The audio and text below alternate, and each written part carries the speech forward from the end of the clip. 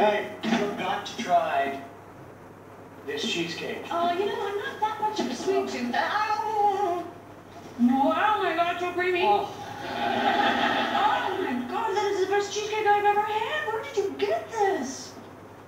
it was at the front door when I got home. Somebody sent it to us. Chandler, this is not addressed to you. This is addressed to Mrs. Braverman downstairs. Thief.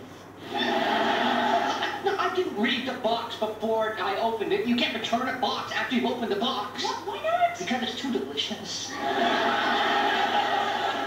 Chandler, you stole this cheesecake. That is wrong. No, no, no, it is going to be okay because Mrs. Braverman is going to send away for a free one. And that way we all win. The only losers are the big cheesecake conglomerate. Mama's Little Bakery.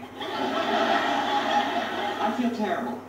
I'm a horrible, horrible, horrible person. Well, I'm sorry, what?